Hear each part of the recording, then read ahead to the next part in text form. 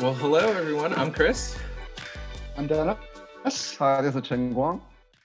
and we want to welcome you to our very first episode of our podcast, Heard It Through the Grapevine, where we want to encourage uh, you in your faith and knowledge of God by giving you biblical and theological clarity to your questions about faith and life. And so we wanted to thank all of you um, who have submitted your questions. Dennis and I have read through all of them, and we're going to do our best to answer all of them. But there's a lot, and we're going through each one. And, and like I said, we'll do everything we can to answer them. Uh, we also hope that you continue, uh, if you haven't already, submitting questions. Uh, the link will be in the description. And so please keep them coming. And we'd love to hear how we best can serve all of you uh, during this time uh, with this podcast. And so, with that, uh, as you can tell, we have a, a, guest for our first episode, and that is Pastor Chen Guang joining us. um, just to give you a, a little um, bio of, of um, Pastor uh, Chen Guang, uh, Pastor Guang and his wife Julie have been blessed uh, with two children Andrew, who's currently in New York working as a financial analyst, and Anna, who is in seventh grade. Uh, he just finished in December 2019 his PhD in uh, Old Testament at Trinity Evangelical Divinity School. So congratulations on on finishing Thank that. Um, and he really has a, a, heart and passion for teaching and pastoring among um, Chinese people and seeing them grow in faith. Um, and so uh, we really, once again, want to thank you, uh, Pastor Guang, for joining us and helping us launch our first episode of Heard It Through the Grapevine. And so thank you. Okay. Um, so I mean, as you guys know, we're uh, currently uh, there's a, a, season of COVID 19 and we're sheltering in place. Uh, it's an unprecedented time. And that's one of the motivations for why we're doing this podcast. But um, just just out of curiosity, what we're all pastors. What have you guys been doing during shelter in place?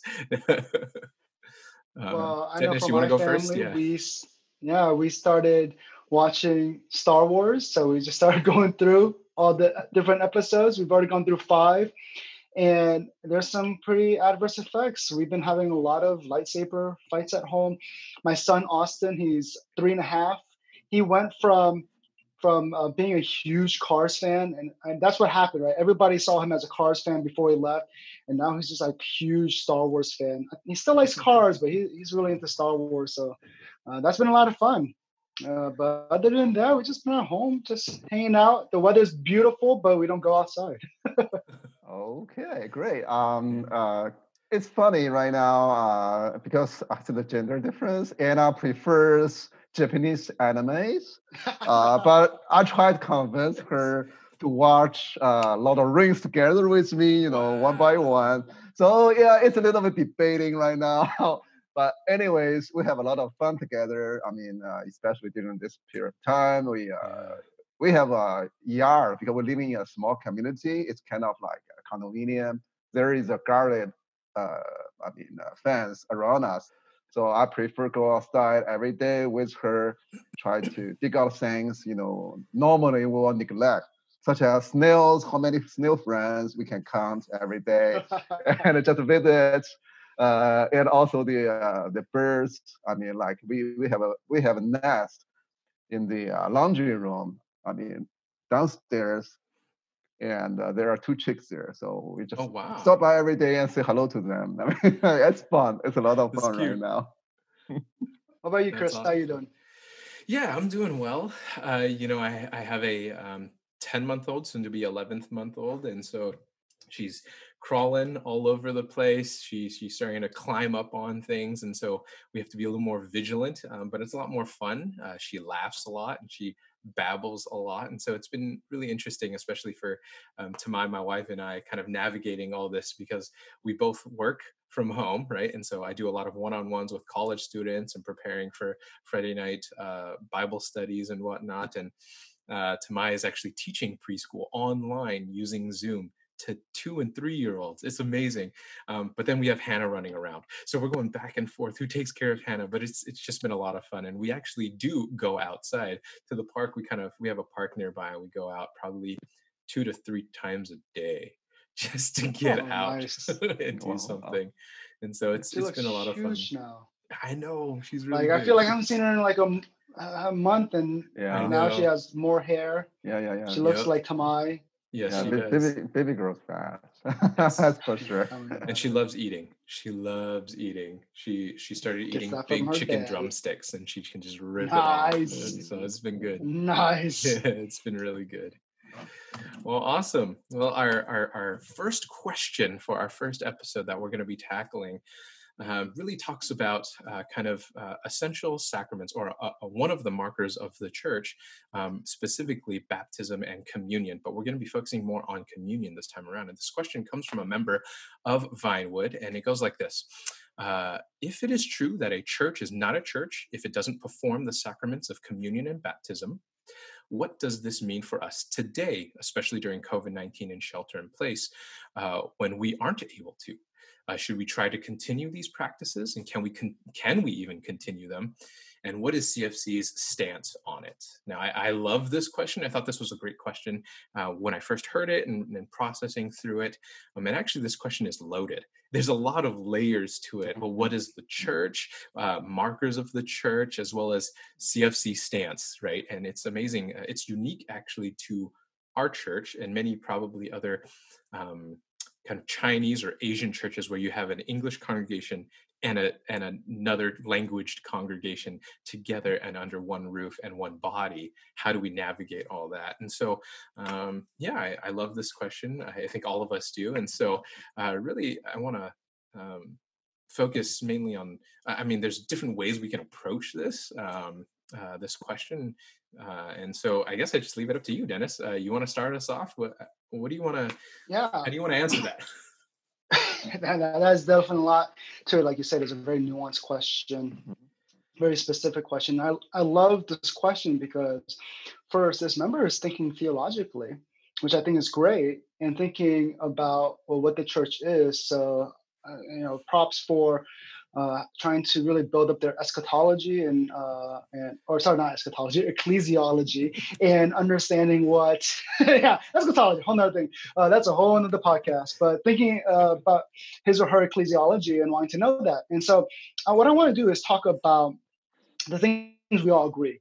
And so, one, obviously, we are one church. Vinewood is the English congregation of CFC Berkeley. And so we do share a lot of common uh, heritage and we, we share the same theological understanding and we abide by the same uh, statement of faith. Mm-hmm.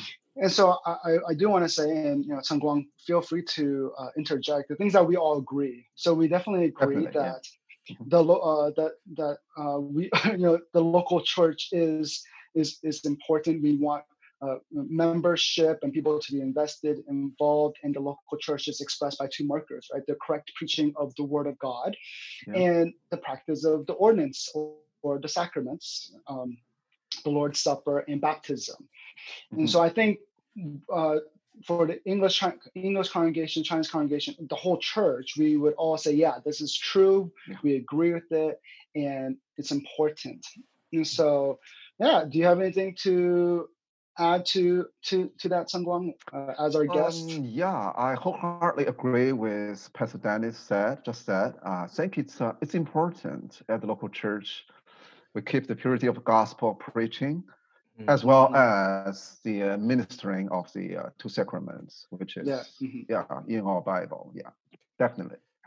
Yeah, so there's definitely we we definitely do not disagree on on the, the theological aspects. Mm-hmm. And I think at this point, the um, we, let's just kind of lay our cards on the table. Yeah. And so, for those who might not know, the English congregation, we have decided to postpone the Lord's Supper until we mm. gather again physically. Okay.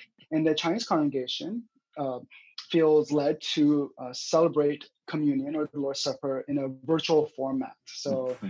Asking the members of the Chinese congregation to prepare the elements at home and for them to take it together. Yeah. And so, right now, I think why we wanted uh, Pastor Chen Guang to come on this podcast is one so so our listeners or viewers however you are uh, you know taking in this information would see that first there, there are different perspectives in our church and how to practice it. And we've had lots of really good discussion amongst the elders of our church. Mm-hmm. And yeah. I think that everyone has a good understanding of where everybody falls, and no one is at a dis- uh, no one's at a place where they feel like this is a a theological tension that needs to be separated. You know, we need we need to separate or anything like that. So yeah. mm-hmm. I think everybody understands we are going for best practice, yeah. and we are uh, disagreeing uh, respectfully on the method of this, but no one is at a point saying you're being sinful or you're you're mm. you are being rebellious to Scripture. Yeah.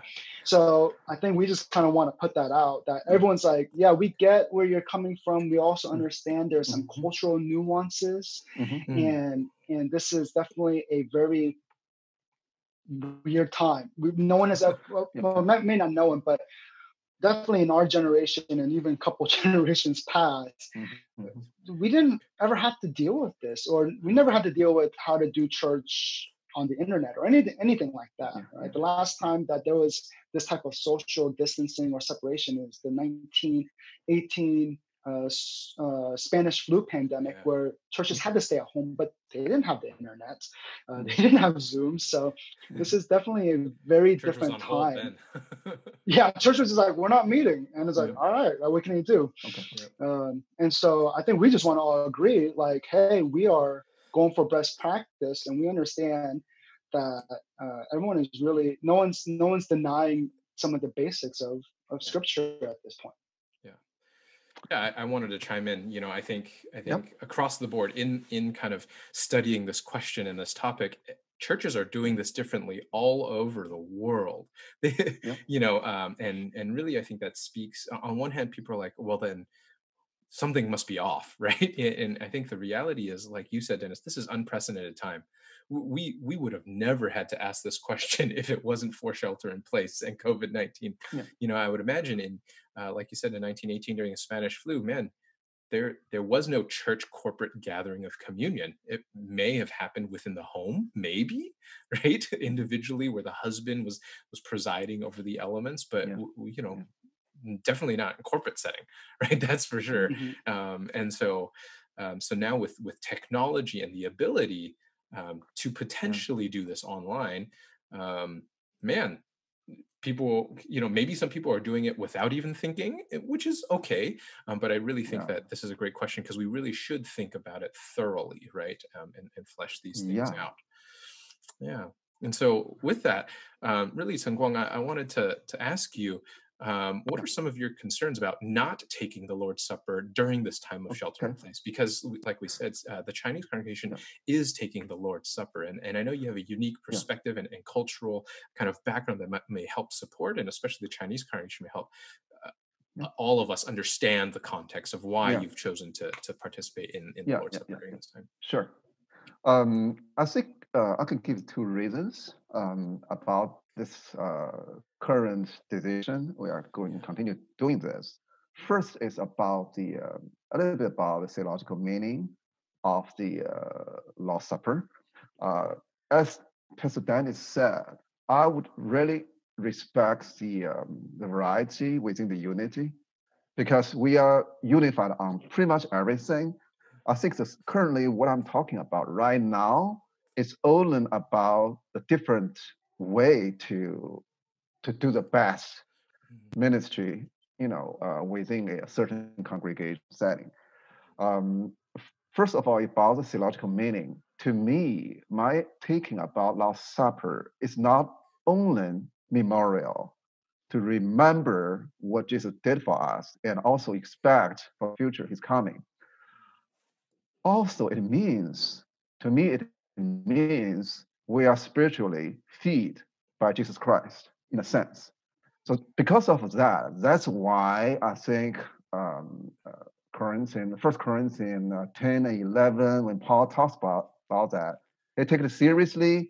And even like, you know, um, I think it's um, Don Carson, when he comment on John the 6th, he will say, uh, though the uh, Last Supper or anything, you know, appear there, nothing appears there. However, if you want me to say what's the best uh, explanation of Last Supper, go to John 6. Mm. Given that, I will say if we are spiritually feed on this, we are united to Christ, to me, it's indispensable for our spiritual growth. Mm. I think also that's why, on the other hand, we are talking about uh, excommunication as a church discipline, right? So my concern from that perspective is that does it mean that we have, because of the current situation, we have to certain kind of excommunicate ourselves mm, from it to a point like you know to then it depends then it goes back to question the frequency of last supper right? Sure. Some church will take that oh okay what's the big deal? Just a couple months right? But if if my understanding about the last supper as the spiritual feeding of us so i i feel myself don't get to that point like should communicate everybody from it. Uh, on the other hand, I definitely agree the, the stance. You know, I did a little research on the uh, as well. I noticed there is a lot, as particularly at this specific moment, as a stance of repentance. Let's see that as regret for the whole country. We put a stance. Let's see, we excommunicate ourselves for a certain time I agree on that. You see what I mean? I, I can feel the heart. I, I, I will say amen on this. Sure. But uh, then I think the question boils down how long? You see what I mean? Yeah. How long? Then uh, I think, given that, I, I don't think there is a big difference between what uh, Vinewood is doing and the, uh, the Mandarin congregation is mm, doing. Sure. And uh, this is one reason, theological reflection on this. So I'll just give the reason another side as maybe from my background as the grown up in the underground church. Mm. So by then, actually, I get baptized in a very private place. Mm. The uh, minister of church find a place which is you know relatively safe, and uh, we get a water jar there, a big water you know jar there, and I get immersed in, into the water jar and with wow. several i mean yeah with several brothers sisters you know as the uh, witness mm. depends still i will say depends on the uh, setting and also i mean uh, for the uh, communion because underground church you cannot by then you cannot get a lot of congregation like you know you can't get a uh, public like gathering yeah. over a certain number of people and uh, let's say cfc berkeley you, you know you get choir right? You get a worship team, right? Like Chris, you did a wonderful job. Thank you. we, we can't have this, yeah. right? You will disturb sure. the um, neighbor. The neighbor will report report to the um, uh, the government that, that, you get in trouble because mm. this. Then, so we can do everything quietly. Sure. Uh, having said that, I still can recognize there is a difference between what we practiced before in the underground church and currently the virtual way. I will say I definitely realize there is a lacking of, I mean, uh, body appearance with my brothers sisters. I think if I reflect on that side, I will say because of the mourning, I mean, we are lament um, because of this or sin, and uh, we deserve the punishment. If you from that side, we want repent, you know, uh, put ashes on my head, turn my clothes on that sense. So I just try to exclude myself away from the, t- the table. You, you see what I mean? I can feel the heart. I, I will say amen. I will say that. I think then the question is how long? Yeah. So that's why I think maybe uh, at the beginning, I mean, uh, we might not put enough theological thoughts, reflection on this. Mm-hmm. I think with Dennis and Chris, you put put that up. I thought about this. I said, yeah. I mean, if there we view from that perspective, yeah, we say uh, withdraw from period of time. Let's say if uh, God's mercy will get, you know, this uh, shelter in place order lift up, yeah. Uh, lift up that next month or end of next month as currently, I mean, uh, the policy. So yeah. we everybody get together, have a celebration. Yeah, uh, yeah, I will see. Yeah, yeah, definitely. Yeah, mm. yeah, that's that's fine with me. So that's that's I think that's the nuance in, inside of mm, this. So that's sure. why uh, currently, I will speak for the uh, yeah from Chinese side. I think yeah. might not be the uh, the might not be the uh, consensus of the all the theological stands from the uh, the, the, elders. I mean, I mean among the Chinese congregation. Yeah. But definitely, I think I I can put up put up put up front everything like this. That's yeah. that's currently my theological reflection on this. Thank you. Chris. Thank you. Um, and for you, Dennis, I mean, I know you and I talked a lot about this as well, and and we thank you, Guang. We we that was actually very. Uh, I love those two points. very. Uh, it helped me see see a better clarity to to kind of why uh, uh, the Chinese congregation has decided to participate in communion. Um, but for for you, Dennis, um, uh, specifically for Vinewood, what are your concerns about taking the Lord's Supper during this time? Um, what, why have we decided to refrain? I know Guang kind of mentioned it already, but um, you might have some mm-hmm. more to mm-hmm. add to that. Yeah. Yeah, I think, well, one, I really appreciate the thoughtfulness and also understanding the the viewpoints and also the cultural background.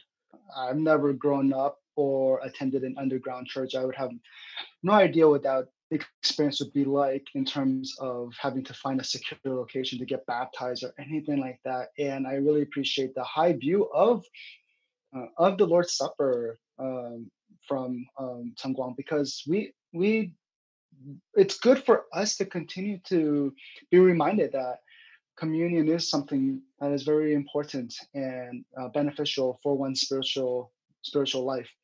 And so I think all those things are really good points.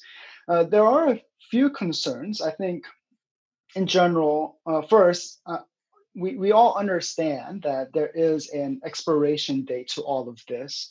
There will be a day that we will all gather again physically. So it's not like English congregation is uh, ceasing to take the Lord's Supper indefinitely, nor is it that the Chinese congregation will just now do the Lord's Supper via virtually indefinitely either. So we we we all understand that eventually, whether it's hopefully next month or next year or whatever it may be, we will all return and be able to participate uh, with the physical gathering of the saints uh, in this local church. So I think with that regard, we all understand like, hey, we're just trying to figure out how to do church the best right now for the next month or two or however long it may be.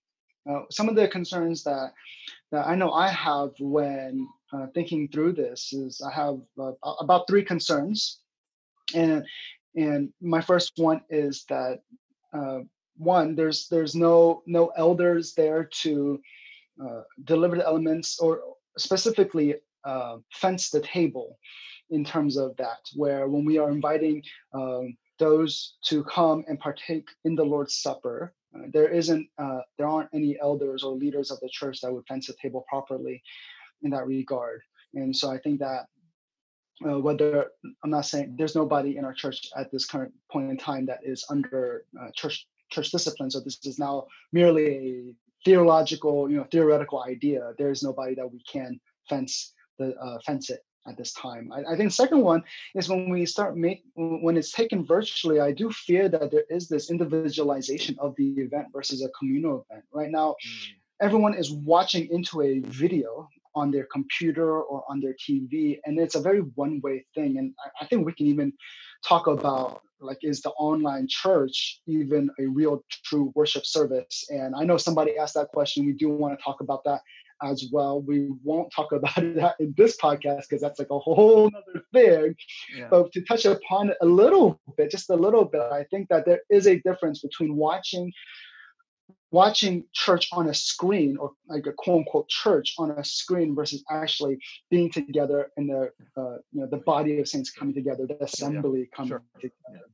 And so when we have that, it, it, it kind of just continues to individualize the event. And I think that in general, even when we were gathered together, um, it, it, it, was easy for us to individualize it, right? To consider our own sins, consider ourselves, and and um, make it about us, versus seeing that it is uh, the church come together. It's the many, the church, the local church, coming as one, right? Partake, partaking in a symbolized one one bread, which is uh, symbolizing as the body of Christ or the cup, the one cup uh, Christ's blood shed.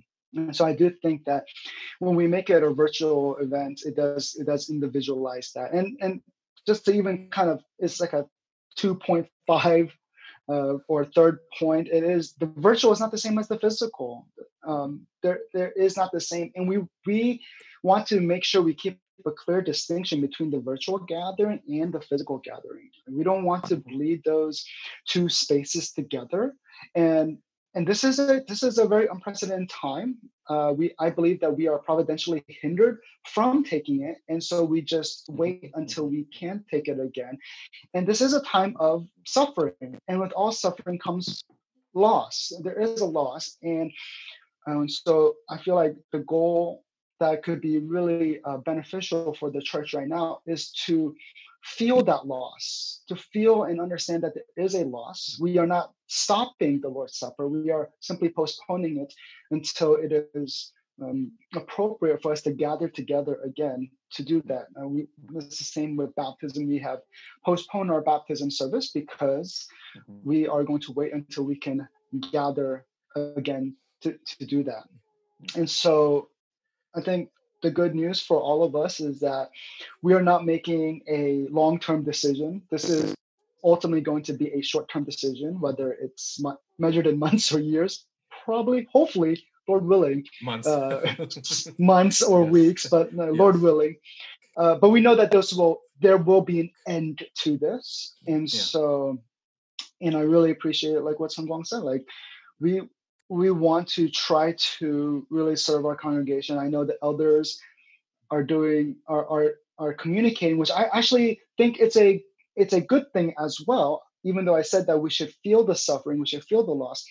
Uh, the Chinese congregation is trying to normalize church as much as possible, and I think in some sense that's just trying to keep a good rhythm and pattern. Pattern, even though we can't have the physical gathering, and uh, I think that there's still some wisdom to that, and uh, sh- there's there's good shepherding to that as well. And I think I I really appreciate that because uh, I can sense that they're trying to care for their flock in a very uh, you know in a deep and intimate and, and real way. And so, in one sense, we do want to continue to normalize this that we meet at the same time, we sing songs, we preach the word. But at this, on, on the flip side, we also want to continue to remind our congregation that this is not church. This is not how it's supposed to be.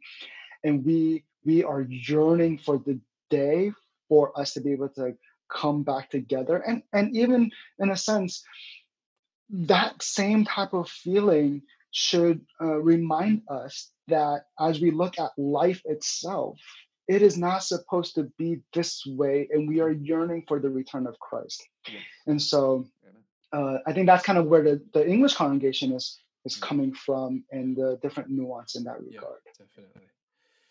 Thank you guys for answering. We're we're getting close uh, or almost out of time, um, but I, I, really like both of your points um, in regards to answering this this question in regards to communion and, and the sacraments in the church. And so, thank you so much for your time. I I just want to point out something that I took uh, from you, Dennis, um, is that uh, we we may not, at least for Vinewood, we we're hoping it's months, but if this lasts longer, we might reevaluate this, right? And, and we don't even know what shelter in place might look like for both Chinese and, and English congregation. Even if it's lifted, the elder board is still processing how do we slowly integrate people yeah. back into yeah. the church? Maybe it's you gather 10 people in a home with yeah. an elder there and we can provide the elements there and then maybe vinewood would start changing things up right we'll we'll preside over communion but you're at a localized yeah. area where it's someone that we know can can can kind of help prepare the elements and will lead it you know we don't know right with technology i think it's a huge blessing to have